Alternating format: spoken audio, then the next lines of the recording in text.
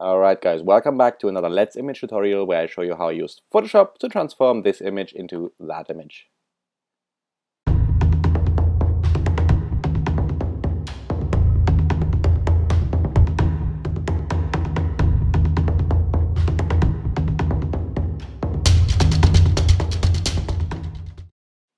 Alright, welcome back. My name is Phillip. You can find me at Twitter at Let's Image.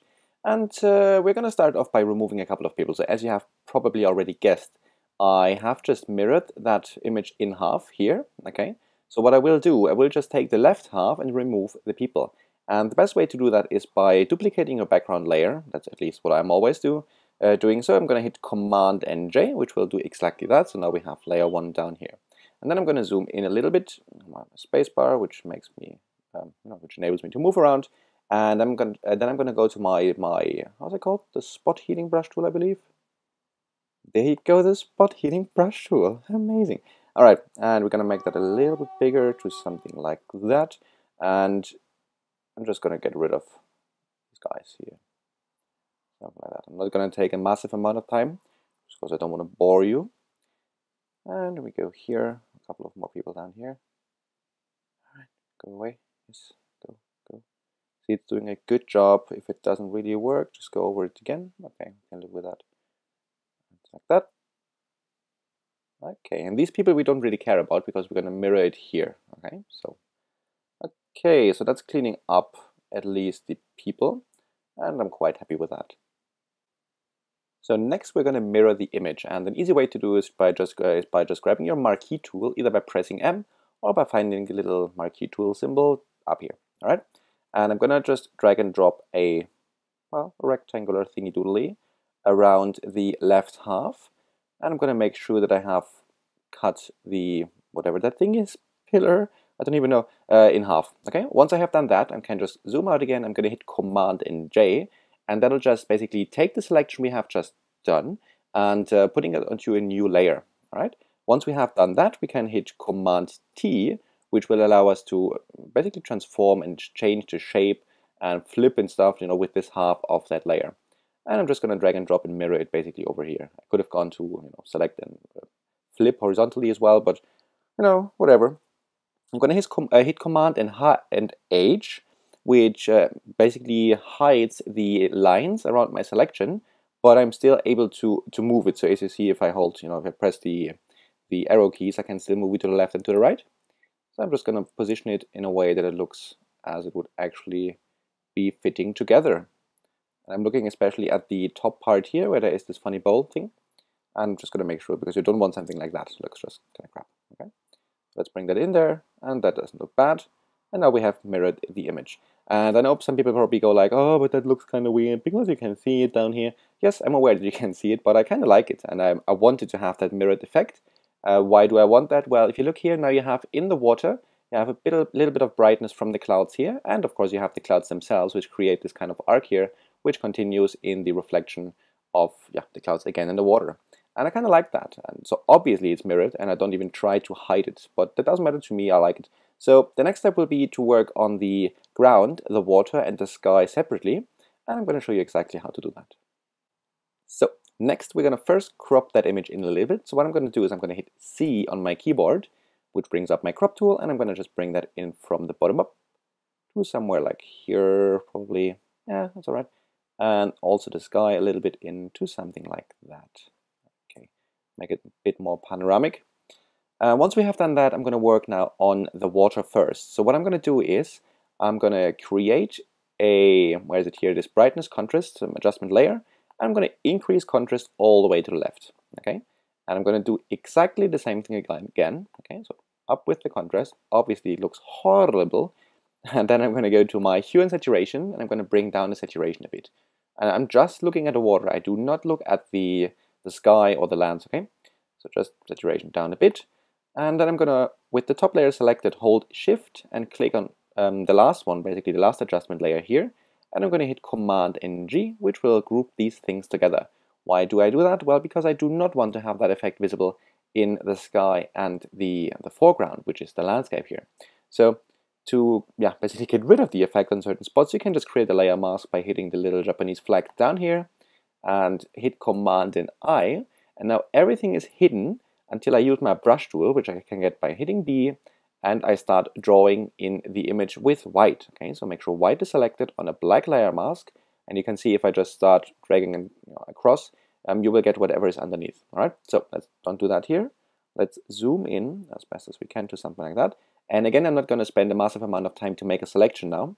Uh, I'm just going to do this quickly as possible. So what I'll do, I'll just, as you see, oh, my Photoshop is doing the funny thing with the black, the black stuff again. I have no idea why it's doing that sometimes. Gonna have to figure that out. It is disturbing, disturbing. Okay, now I'm just gonna get that water through.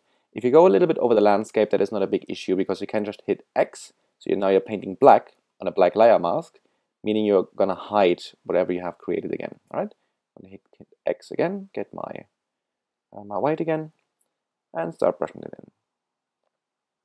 All right. As I said, I'm not going to do that perfect, but you will get the idea. Yeah, hmm, yeah, something like that. Okay. Actually, I don't like that here. A bit more. Yeah, something like that. Okay. And here, and there, and something like that.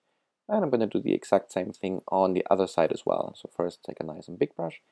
And the bigger I make my brush, the more it does that weird thing with the black. So odd. Let's make it small, then it's not happening. Alright.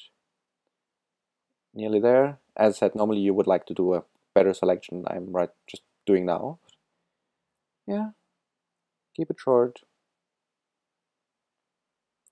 Alright, there we go. Uh, by the way, I'm using a pressure sensitive uh, pen right here. I'm using a pen. That's what I wanted to tell you. So it makes a kind of a easy and nice process just to brush these things in. It's better than with a mouse, I think at least. Let me know if you think otherwise. Okay, so that, that would be the water for me. I'm quite happy with that. Obviously, you can see I didn't spend too much time and effort on the, the horizon here, but you know, what ifs. So the next part will be the sky. Okay, so let's do the sky. So with the ground, I just want to do two things. I want to bring some more color into the thing and some more contrast. And what is the easier way to do that? Well, it is you go to hue saturation and you just increase the saturation right there just a notch to something like uh, maybe that, right? Want to see the before and after, always just toggle it on and off. I don't even know if you can see it, so but I can, so I'm quite happy with it, so I will just keep it there. Now, and then I'm going to go to my contrast and brightness, and I'm just going to increase the contrast a little bit to something like, yeah, why not something like that? Now, I'm going to do the same thing as before with the brightness layer selected. I'm just going to hold shift click and select the hue saturation layer. I'm going to hit Command in G, which will group them together. And this one is now for the ground. Okay, so what I will do, I will create a layer mask just like before, hit Command in I to invert that layer mask, get my brush by hitting B, make the brush nice and big, do something like, eh, might as well, something like that. I'm just going to brush in that effect, right? I'm really surprised about that black, um, these black squares which show up on occasion. Bit odd, Okay, in this case I'm going to bring my opacity up to 100%. I'm just going to drag, uh, brush that in. Simple, nice, easy, and gives a little bit of contrast in there. All right, so look before and after. Yeah, I like that. Okay, good. Now the last part will be the sky, and probably I will work, try to sort of, um, the adjustments I make for the sky now, I try to apply them to a little bit of the water as well. So let's see if that works. All right.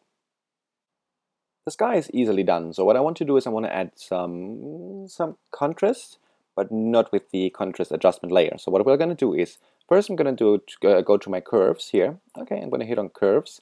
I'll, I'll just decrease the brightness of the sky to maybe something like something like that. All right. And the next thing we're going to do is we're going to go to levels right here. And we're going to shift that little thingy doodly up there. And what that's doing, it sort of why does it see the clouds are being still being white, whereas the rest of the sky gets a lot darker? All right, so that's what I want actually. So I'm just going to go to something like that. And what you can see as well is that in the water now, we actually can see the reflection of the clouds a bit better in the water as well. And I kind of like that, right?